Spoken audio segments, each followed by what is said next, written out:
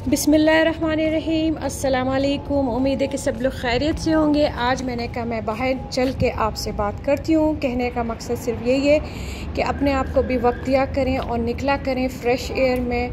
और जब भी मौका मिले, अगर कोई भी आपके साथ ना हो तो आप अकेले भी निकल सकती हैं और बाहर जा सकती हैं। घर में घर में बैठे बैठे इंसान बोर हो जाता है तो थोड़ा चेंज करने के लिए आप बाहर निकलें वॉक करने जाएँ।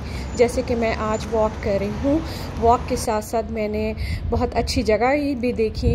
ये पार्क इतना खूबसूरत बना हुआ है कि इसको देख के ही मुझे बहुत अच्छा लग रहा है। तो कहना, ये हर किसी को चाहिए कि अपने लिए वक्त निकाले, बाहर जाए। अगर आपको कोई साथी नहीं मिलता, कोई फ्रेंड नहीं मिलता, कोई बात नहीं, आप अकेले जाएँ और इन्जॉय करें और अल्हम्दुलिल्लाह कहिए बिलीव में आपके 80 परसेंट जो स्ट्रेस है, वो सब ख़त्म हो जाएगा और सब चला जाएगा।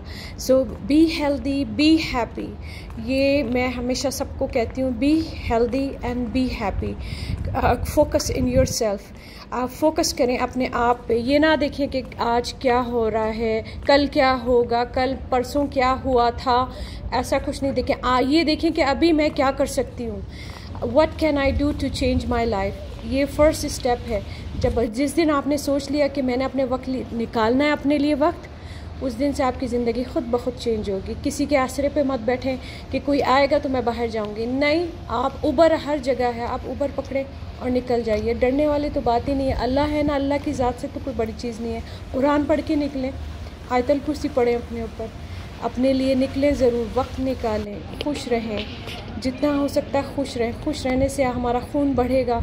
और हम काफ़ी देर तक ज़िंदा रह सकते हैं। जब हम खुद खुश रहेंगे तो हम अपनी फैमिली को भी खुश रख सकते हैं। ठीक है ना? अपने बच्चों को खुश रख सकते हैं। और बिलीव में जब हम पॉजिटिविटी अपने इर्द गिर्द फैलाएँगे तो दूसरे लोग भी पॉजिटिव हमारे बारे में भी सोचेंगे और वो अपना बिहेवियर भी चेंज करेंगे। ठीक है ना? और, जो ख़वान घर में बैठी हैं और जो ऑफ़िस भी जा रही हैं ऑफ़िस से अगर आप वापस आती हैं तो कोशिश करें कि हफ़्ते में दो तीन बार तो ज़रूर अपने लिए वक्त निकालें और ज़रूर जाएँ। अगर आपको मेरा प्रोग्राम अच्छा लगा है तो थम्स अप करिए प्लीज़